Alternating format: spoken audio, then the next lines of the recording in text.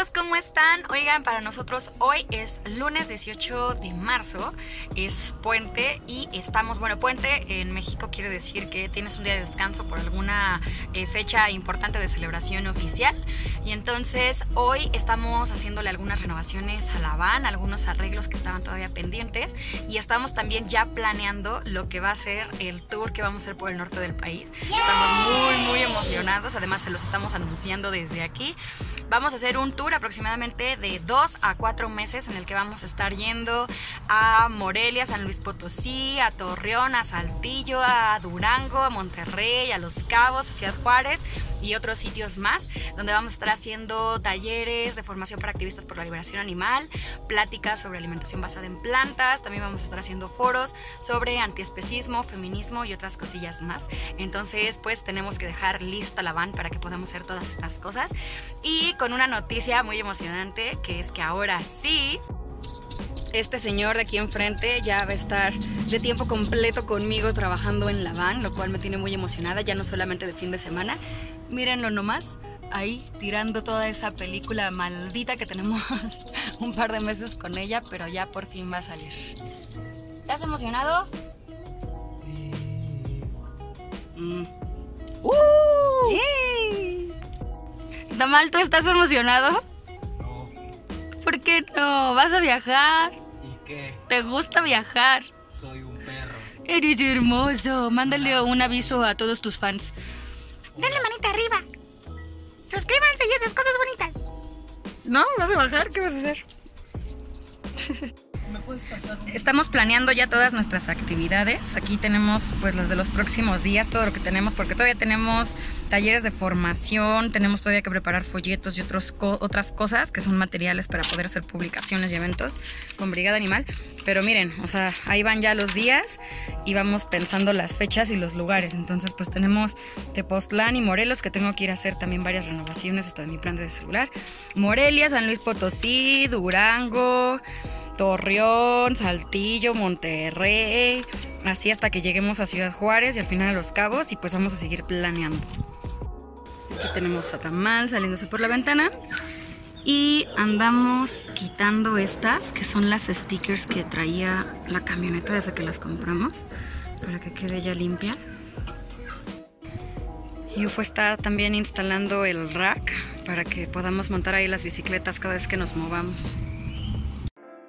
Hola amigos, hoy es 26 de marzo para nosotros y hoy los vamos a llevar con nosotros a que vean un poquito de lo que vamos a estar haciendo de arreglos para la van. Vamos a ir a Tlisco porque allá tenemos un buen mecánico que nos va a ayudar a dejar la lista para todos los viajes que vamos a estar haciendo y también vamos a empezar ahora sí ya con lo del mueble y con lo de las ventanas, ya tenemos todo el material, dormimos con él aquí en la noche, déjenme les enseño nuestra bodega de casa. Buenos días, Tamal. Perro hacia abajo. Perro Yuga. hacia arriba, mira. Perro hacia arriba. Diles buenos días a todos. Ay, llora. Eso que ven ahí es. ¡Ah! Eso que ven ahí es Coroplast, que es un plástico que vamos a utilizar para cubrir nuestras ventanas y que así nadie nos vea por fuera, que de todos modos entra un poco de luz y que no se mete tanto el frío. Y ahí atrás, que casi ni se ve, pero eso, eso que se ve por. Ay, ¿dónde está mi dedo? Ahí está mi dedo. Por ahí es la madera que tenemos ya cortada para los muebles de la cocina. Pero pues ahorita tenemos todo hecho un desmadre porque aparte tuvimos taller el fin de semana y no hemos terminado de, de guardar todo, pues justo porque hemos tenido demasiado trabajo. Pero bueno, ahí vamos. Esas otras maderitas que ven también son las que se van a utilizar para la estructura. Y ya. ¡Ali! Panchi, di hola. Denso.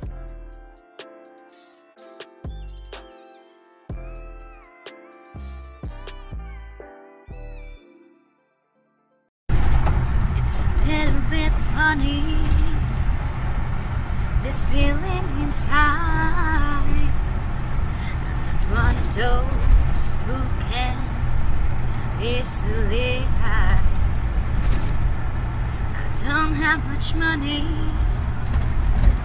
But boy, if I did, I'd buy a big house where we both could live. You see, I've forgotten if the green or the blue. Anyway, the thing is, what I really mean. Yours are the sweetest eyes I ever seen. Ya de amigos, oigan, esta es la toma 2 porque a alguien cuyo nombre no mencionaremos grabó ahí medio guachicol y entonces la toma quedó ahí media rara y luego yo estaba viendo un Fue lugar por que no era la culpa del cámara. perro. Fue culpa del perro. Oye, es que. Ya se puede. Fuera. Lo presumo de acá. Bueno, luego de este breve eh, intermedio de pedir a los perros que no ataquen a nuestro perro porque nuestro perro es bien ojete y todo nos ataca. ¿Qué? Ah, sí. Cuernavaca. Oye, Perdón. mi camarógrafo tiene comezón. Por eso dice que la agarramos entregados. No, está bien, está bien, está bien, ya. Bueno, este. ¿Qué ves que cada vez que me interrumpo se me va el avión? Es, estabas en, este, ten, tenías no para allá, no para acá. Porque la cámara está de este lado, Pues sí, pero yo, mira, yo estaba pensando. A ver, si quieres te la paso para este lado. Mira. No, porque ahora va a estar al revés. ¿No? Ahora va a estar al revés el video, no sé que lo volteé. Ah, sí. Entonces si estaba así, a ver qué tal si lo agarro. Por aquí. ¿Bien? Mira, este era un muy buen ángulo desde el principio.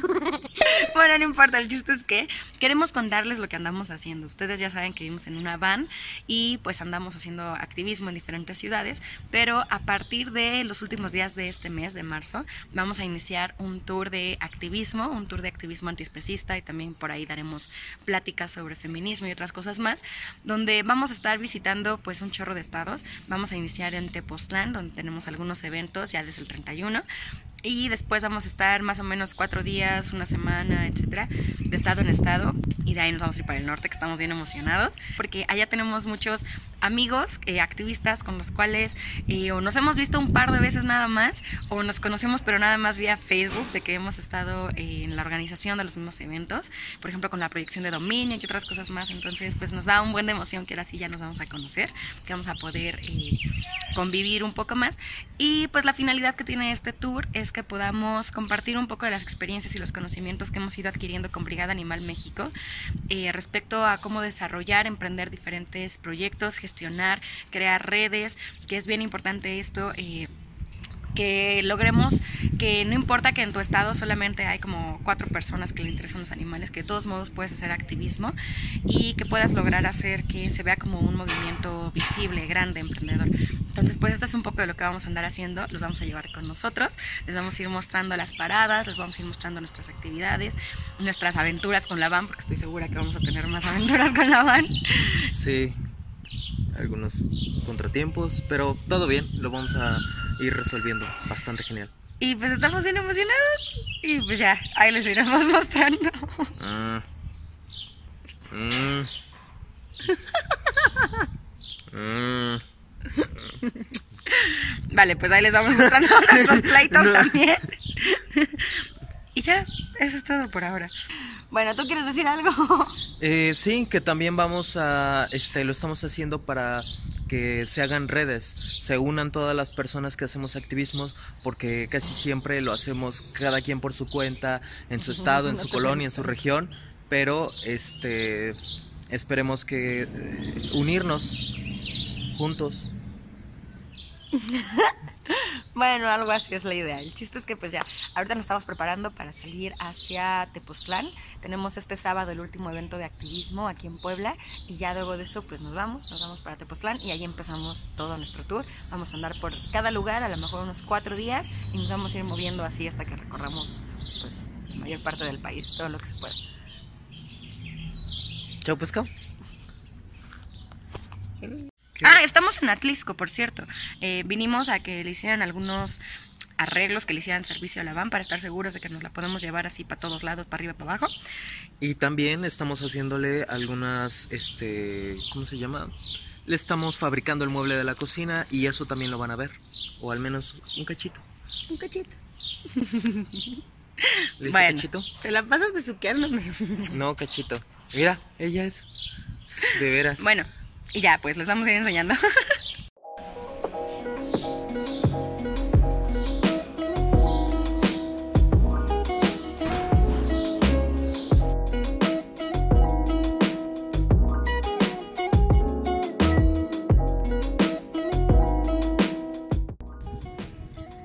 estábamos aquí cuando hizo erupción el popo.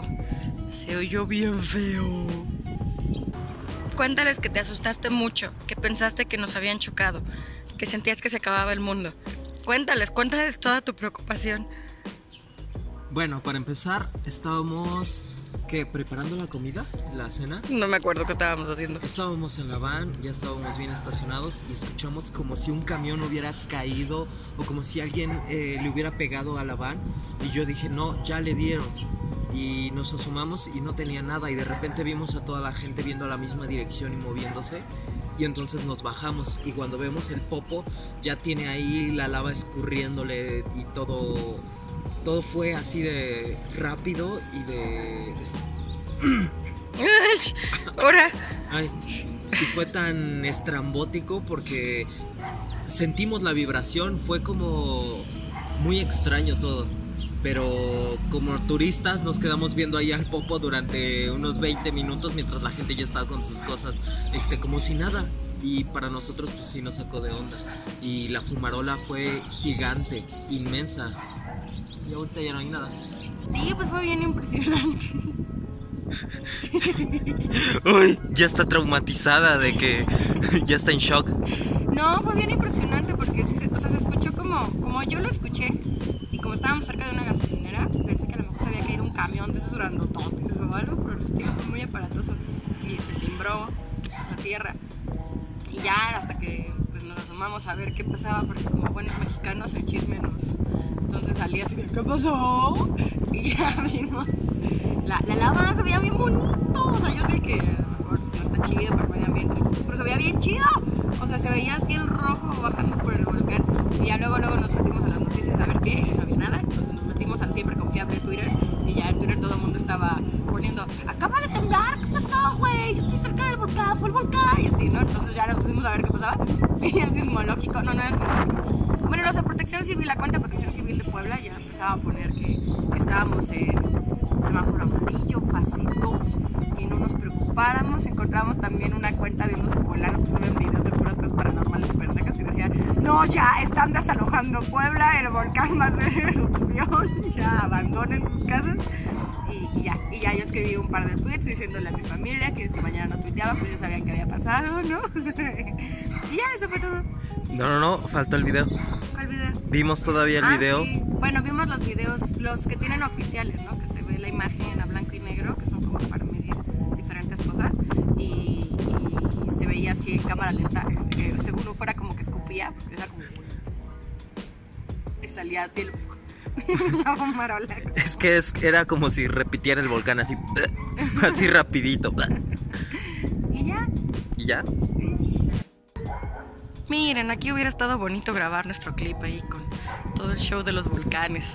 Lo, lo raro ahí, bueno, lo chistoso de los pueblos que están cerca del Popo es que está la ferretería El Popo, la colonia El Popo, la calle El Popo, este, esta es la avenida Volcanes, este, todo, todo, todo. Pues es tú eso. porque no vives en un volcán, pero imagínate si vivieras cerca del volcán. Ah, no, ese no es el volcán, esperen. Ese es un cerro cualquiera. bueno, eso que ven allá arriba. Ay, ay, ay. Ahí arriba. Tú de más adelante, a ver. Es eso. Ya ven, es cierto. Caminamos una calle y eh, también esta es calle Popocatépetl. A ver si no encontramos otra. Tortillería El Popo. Otra más, pero creo que todas las calles de por aquí tienen nombre de volcanes o algo así. Además de que es la colonia El Popo.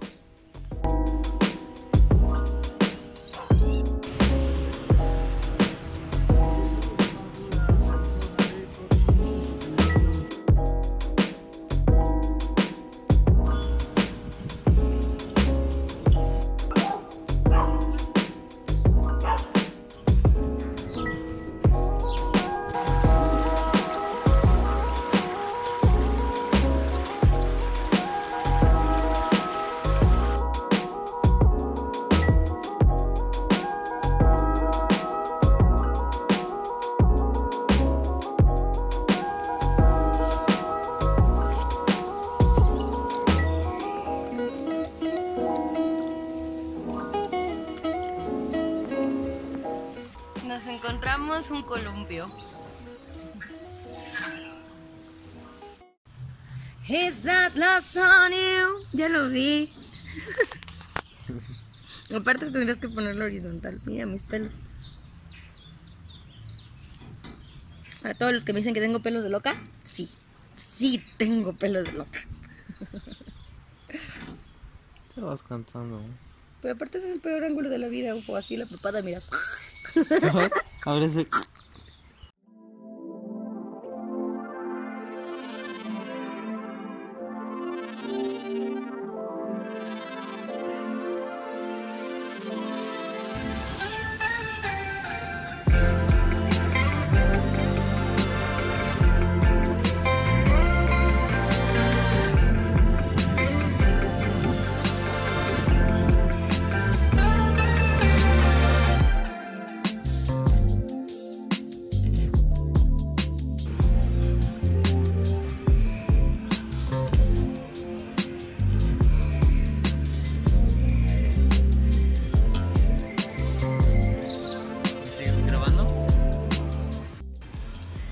Oigan, qué tristeza que The Italian Coffee está por todos lados en Puebla. O sea, la pérdida total de las, pues, los negocios locales, el mercado local, están por todos lados. Y aparte está en el kiosco principal del kiosco. Es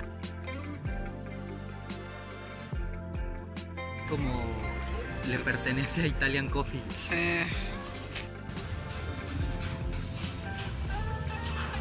Unas tortitas en el parque. Ay, ¿a quién se le cayó ese aguacate? Ay, pobrecito.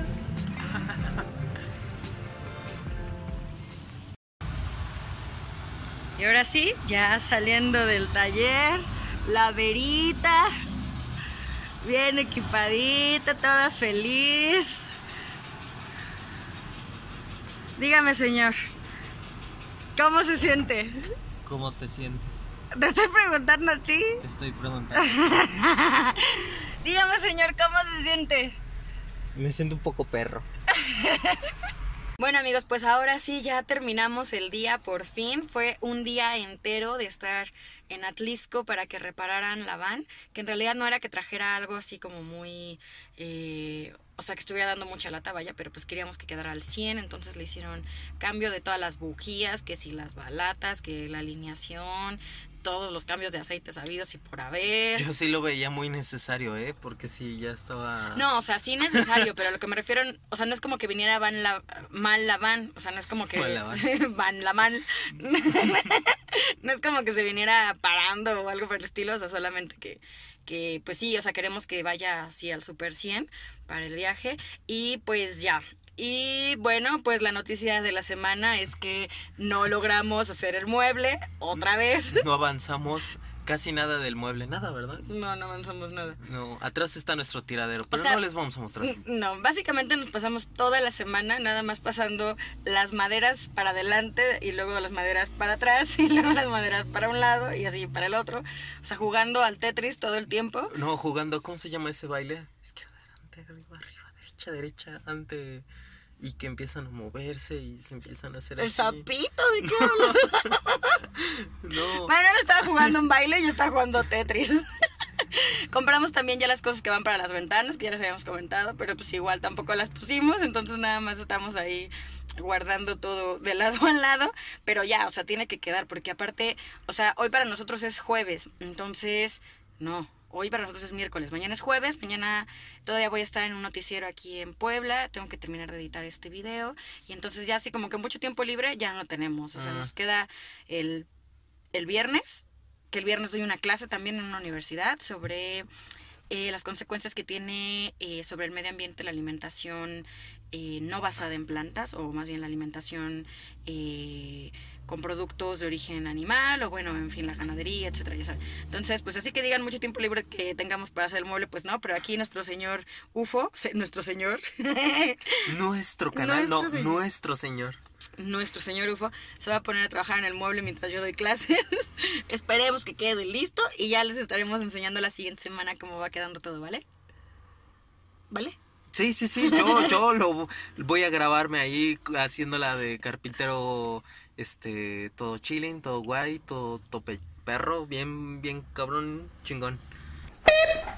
¿Cómo va lo todo chilling, todo guay? Pues ya llevo como dos horas y todavía no encuentro bien cómo debería de estar. ¿Cómo debería quedar? Lo que pasa es que en mi computadora tenía como todos los planos de dónde iban todas las piezas y según las medidas es donde se encontraba eh, posicionada esa pieza con respecto a las demás.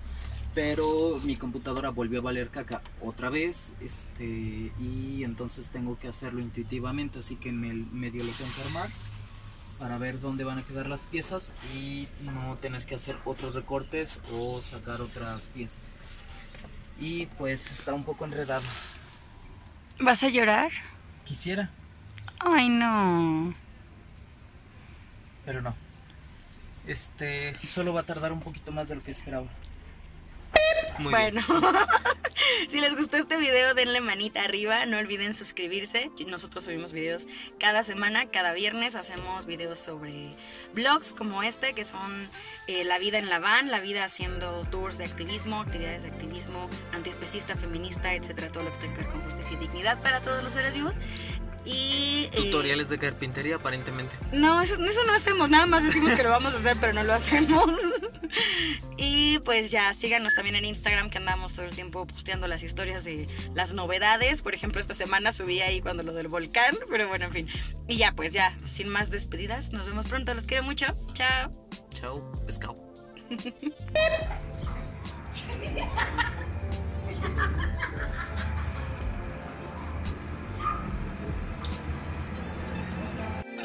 Thank.